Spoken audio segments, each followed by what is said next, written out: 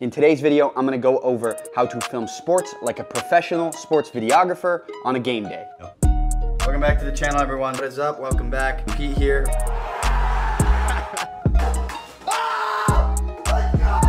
What is up, y'all? Welcome back to the channel. My name is Pete Gottschalk, content producer for Major League Baseball. If you are new to the channel, we make videos here revolving around sports videography, how to become a better sports videographer, and just general lifestyle stuff in the industry and in my own life. If you're new here, make sure you like and subscribe. But in today's video, as I already mentioned, I'm going to be going over how you can film sports like me on a game day. To preface this video, I'm gonna be going over kind of my game day routine and I'm gonna be bringing in experience from when I worked at the University of Georgia as a student intern doing, you know, football, baseball, basketball, whatever, DC United in Major League Soccer, and then also at MLB for the last couple years. Therefore, I'm going to kind of put a broad umbrella over this video. I'm gonna try and talk about a game day process that I think would work for all sports, or here and there go off little tangents on different sports and, and, and things specific to those, those game days that, that you know might apply to you and your situation.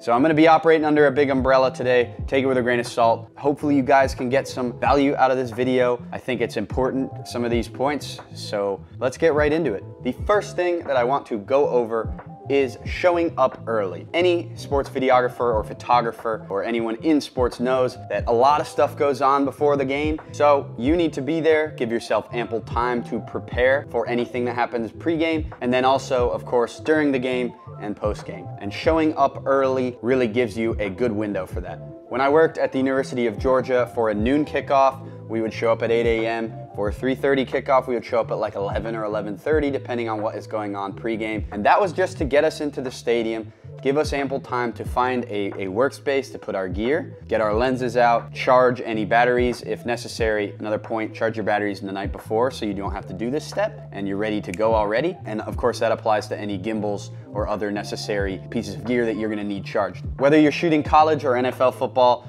a lot of the times there's gonna be requests for arrivals and those are gonna happen probably three hours before the game. You gotta be ready to prepare for that. If you show up four hours before, that gives you an hour of time to, you know, get a camera ready, format your cards, get everything you need, build your gimbal, get any audio situation settled and worked out a lot of the times I've found in pretty much every job that I've had in sports that the pregame and all the stuff that leads up to the game is way more hard of, harder of a lift than you know the game itself. Because the game itself you, you're not really there to control anything. You're kind of reacting to things in front of you. Working at mlb we also do this for playoffs. We get there like six seven hours before the game. It sounds crazy but a lot of the baseball guys get there really early. And it's important to be able to capture their arrivals. For normal games like a regular season game, I'm getting there probably three, three and a half hours early to get batting practice. Like I said, a lot of these things, these guys, these, these are their jobs. Getting there early and before even the players get there is crucial to maximizing your success on a game day. Now, after you shoot your arrivals or your tailgating shots or your, your scenics of the stadium, wherever you're at, before warm-ups, you need to reach your point of contact for that game. What do I mean by that? That is establish a relationship or get a phone number of you know, an SID if you're working in college, or if you're working in professional sports, maybe a social person, right? That can be your own social person, or if you're working for a league, establish a relationship with the person who's running the social for a team you're gonna be providing content for. SIDs oftentimes also work the social aspect of things for college sports, especially if you're a little smaller. That is crucial in college to kind of link up with them before the game, before warmups, and, and get a rundown of what they want throughout the day during warmups, during the game, during post game? What kind of cadence are they gonna be using on social? Are you gonna be having to be wary of music or sponsors, avoid certain players or whatnot? There's so many questions that you might need answered. So before warmups, two hours before the game, two to three hours, make sure you establish that connection. A couple other questions this person might be able to answer is access, where you can go on the field or in the huddle or wherever where you can't go if certain players don't like cameras in their faces or maybe they do like cameras in their faces. An SID or a point of contact on the field, on the team, with the team can answer those types of questions. If they can't answer those types of questions, make sure you get a lay of the land during this time as well. Go check out the photo well, go check out the sidelines, go check out where you'll be sitting under the basket. Just get your bearings and then kind of gauge on, on security maybe introduce yourself to a security guard. Be friendly with everyone and all the people around you because ultimately that's gonna get you further than being, you know, kind of mean because that's gonna get you nowhere, I promise you. Use that time to connect with your point of contact, SIDs, social people, answer any access questions, and then also get your bearings. As for pregame and pregame warmups itself, use this time and, and your proximity to players to kind of get a lot more detail shots. This is one of the points I want to emphasize during this video is get detail shots. I see a lot of editors and, and people who make reels where it's just action and in-game stuff. Pre-game is your opportunity to kind of get your football players putting their helmets on, carrying their helmets out, their gear out, putting their gloves on. If you're shooting baseball, getting pine tar on the bat, putting their cleats on, tying their shoes if you're shooting basketball, whatever. This is your opportunity to get those shots, to get up close, get tight. Maybe if a player likes interacting with a camera, they'll say something to you like, we're ready for the game, something like that. Make sure you get those types of shots. That is the difference between being good and great in this industry is, is those detail shots, in my humble opinion. In addition to that, make sure you also get some fans filing in, anything necessary to the story. Fans are such an integral part to any game atmosphere, so I think it is also crucial to get that type of stuff. This is also your opportunity if you're shooting a football or a basketball, if you do have this access, to get audio from coaches